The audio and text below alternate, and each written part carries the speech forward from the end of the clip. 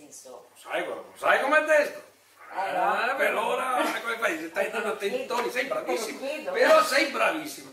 Che hai studiato un casino però. Ho studiato poesia. Mi dispiace che hai dovuto lavorare, io ho No, sempre devi odiato studiare. Eh, No, ascolta, e, allora quando noi sicuramente ogni opera eh, parla ai suoi contemporanei, anche quando non vuole, mm. anche quando io eh, mi metto in testa di fare paro paro una tragedia classica come lo facevano i classici, quindi con tutti fermi che parlano a pubblico e per tutta la sua durata, quindi sei ore, de- eh, diciamolo pure, rottura di coglioni, eh, beh, in questo caso eh, comunque tu regista che fai sta roba mi stai raccontando qualcosa Mm. mi stai raccontando che probabilmente hai un'angoscia dentro eh, e che devi far soffrire gli altri per sentirti meglio tu Eh, sempre no? Eh, è chiaro che chi fa la commedia come me ehm, io ho a volte mi capita di fare anche testi seri però non mi piace Eh, a me piace fare la commedia e chi fa la commedia ovviamente deve lavorare sul contemporaneo. Non- io non Eh. posso eh, fare ridere o, o comunque divertire o comunque raccontare un momento gioioso eh, ai contemporanei se non parlo una lingua eh, che loro capiscono e se non gli dico delle cose che loro in qualche modo possono percepire. Ora, però, se noi parliamo di guerra, sappiamo tutti cos'è. Cioè sappiamo tutti cos'è la guerra, anche chi non l'ha fatta, anche chi non ha combattuto nel Cinquecento, eh, conosce magari un'altra guerra, magari altre cose, magari delle immagini. Scusa, mi sto mangiando il maglione perché ho fame. Vabbè, poi bisogna pure... Anche veramente non si può sputare in video. No, poi di là, verso la finestra. E quindi per forza devi parlare ai tuoi eh, contemporanei, lo devi fare come tecnica. Però al di là di questo, ehm, a me piacciono quelle cose che in qualche modo eh, posso vivere. Il teatro, peraltro, è l'unica forma d'arte che prevede contemporaneità di viventi. Io posso fare il pittore famoso anche da morto, ma non posso fare attore di teatro da morto. Non sono più un attore quando sono morto in teatro, e invece sono ancora un attore di cinema. E quando noi eh, riprendiamo il teatro, poi lo facciamo vedere e abbiamo questi archivi video del teatro, quello già non è più diventato, è, è- è diventata una cosa, non è più teatro.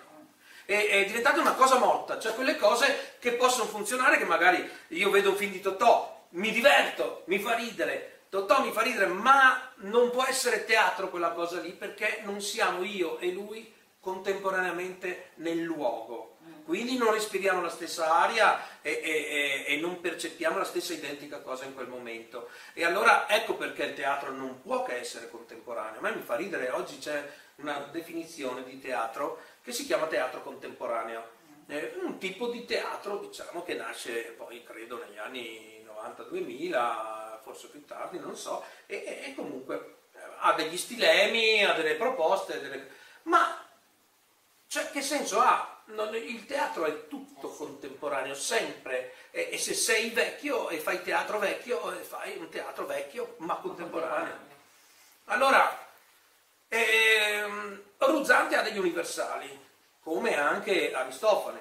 Aristofane, come fai a tradurre Aristofane? Ehm, io non credo che tu possa prendere Aristofane e dire se quello era eh, lo schiavo che rubava il cibo, allora io faccio la donna delle pulizie che si ruba i braccialetti. No, no, non- per me non è così che si traducono le cose. Una volta ho visto una rappresentazione del ventaglio di Goldoni e invece il ventaglio c'era un, un cazzo di un affarino con l'elica, sai quei ventilatori ventilatore con l'elica? eh, cioè secondo te quella è la modernizzazione del ventaglio? Siamo sicuri? Attenzione perché secondo me forse il cellulare, forse un'altra cosa o una borsetta, quello che rappresentava il ventaglio all'epoca di nel Settecento era un modo per comunicare ed era un modo per atteggiarsi delle ragazze, eccetera. E, e quindi cos'è? Un oggetto erotico. E quell'affarino lì non potrà. Cioè, ce l'hanno i camionisti, vabbè, forse ne- ne- ne- nelle serate di prostituzione questi affarini possono in qualche modo. Ma eh, non possiamo modernizzare in questo modo. Cioè è un affronto all'intelligenza che facciamo. Io credo che eh, gli universali siano molto più potenti di quanto noi crediamo. Allora, ehm, il sottotitolo però ti dice tutto, sì. e cioè Ruzzante, noi raccontiamo amori disperati. Cioè questo dovrebbe essere nada a fare la sigla di questa cosa. Sono, sono gli amori disperati, ma in tempo di guerre. E allora è chiaro che io non rappresento una società contemporanea, anche se voglio parlare contemporanei. La donna che vediamo, che è la bravissima Marta Cortellazzo Viel, che fa uh, Nua, che però è un personaggio che riassume molti personaggi femminili, mm-hmm. riassume anche la, Betty, la Bettia, insomma, ne, ne riassume diversi.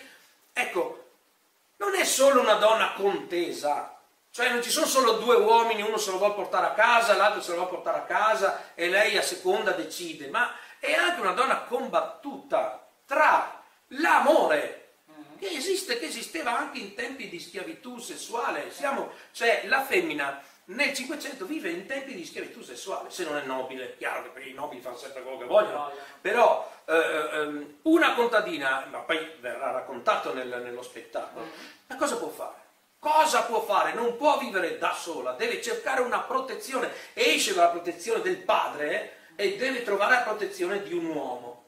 Ma lei è combattuta anche tra questo, diciamo, canone che gli impone la società in cui vive e l'amore che lei sente perché comunque è una donna, comunque è un essere umano e in tutte le epoche gli esseri umani hanno amato.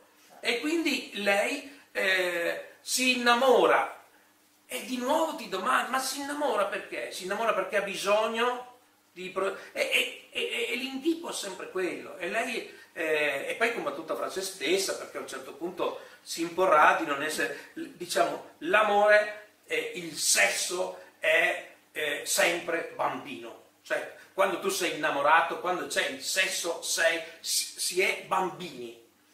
E lei a un certo punto deve ammettere di diventare una donna. E allora, certo che c'è il sesso, certo che c'è quello che noi chiamiamo amore, ma non c'è più la gioia, non è, cioè, non è gioioso. Cioè la felicità diventa un'altra cosa, filtrata attraverso dei meccanismi intellettuali. E, e allora noi abbiamo differenziato le cose, perché anche Rusante racconta di luoghi diversi a seconda, quindi noi abbiamo il Pavano, abbiamo le campagne del Pavano all'inizio, nell'amore bambino, e quando tutti sono bambini, noi abbiamo questi tre personaggi, eh, abbiamo Ruzzante, Menato e, e Gnua. Menato lo fa Andrea Collavino. Questi tre personaggi sono tre bambini, sono tre bambini innamorati e amanti sono stati tutti amanti di tutti, sono, eh, eh, poi le donne scappano, eh, una è scappata con il, pasto, un pastore slavo, c'è la gnua che si ricorda eh, dell'amore come nato, però vuole Rusante. Perché? Perché c'è questo, questo eh, eros potente, no? e quindi nudi nei pagliai, il pelo, adesso non c'è più, non esiste più il pelo, invece una volta, eh, cioè, eh, non capisco perché le, cioè adesso chiedo l'unico uomo che c'è qua presente, ma tu veramente, cioè, le ascelle, perché una se le deve depilare? Me lo chiedo. Anche gli uomini si è assurdo. adesso. Ma eh. lasciamo stare eh, questo aspetto, che le donne vogliono sempre qualcuno che gli somigli, questo è chiaro. Ah, però ecco perché si va d'estate ecco tutti nudi come vermi, con l'olio tutti depilati, questa è la verità. No, questo è perché ci vergogniamo di essere animali. Invece ecco, l'amore animale. animale. L'amore animale. E poi c'è questo secondo frangente, ed è il frangente in cui arriva la guerra. Arriva la guerra. E allora noi vediamo tutti i conflitti, per cui loro che scoprono di non essere bambini, quel campo che lavorano non è loro, è di un vescovo. E, e poi ci sono gli zingari. Gli zingari rubano i bambini, bisogna stare attenti. E, e loro non hanno bambini, però bisogna stare attenti lo stesso, capisci? E poi ci sono tutti i tipi di contrasti, gli ebrei, cioè l'incontro con l'altro che diventa conflitto. E lì c'è il momento della guerra. E dopo c'è questo momento, questo momento di, di, di Venezia, che io ho rappresentato col ritorno, eh, no, il Parlamento deruzzante che torna sì. da campo, ovviamente tutto rivisto e riscritto, però è, è a Venezia. E Venezia è la città già nel 500, anche se non è chiaramente la città del 700, ma è città di mercanti. Infatti a Venezia nel 400, quando nasce Venezia, ci, eh, chi si rifugia no? mille anni prima? Chi, chi, va a rifugiarsi nel veneziano? Sono i mercanti del Friuli, di Padova. I padovani sono quelli che hanno fondato Rialto, no? l'isola di Rivo Alto. Eh, e, e, diventa, è subito, me, eh, Venezia è subito città di mercanti. Mm-hmm. Ed è un'altra cosa perché il contadino non è il mercante, ha un'altra mentalità. E ha comunque delle mentalità molto rigide, anche il contadino, ha la famiglia, però ha paura degli dei, ha paura, che, come dice Asterix, che il cielo gli caschi sulla testa. E invece il cittadino ha altre cose. E noi vediamo queste persone cambiate e vedremo questo ambiente che si sarà diradato e vedremo eh, questi fantasmi.